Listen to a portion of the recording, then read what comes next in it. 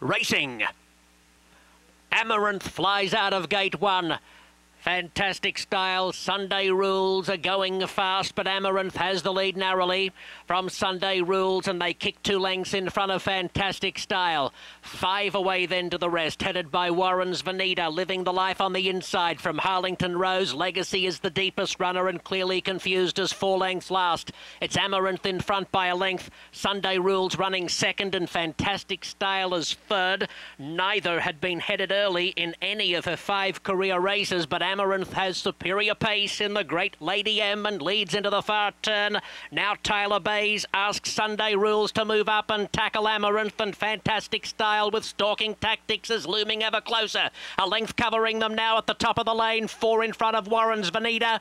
Living the Life and Harlington's Rose past the quarter pole and Fantastic Style sweeps to the lead. From Sunday Rules clear of Amaranth. Living the Life is starting to come home strongly past the eighth pole and it's Fantastic Style With a three length lead from Living the Life and Sunday Rules.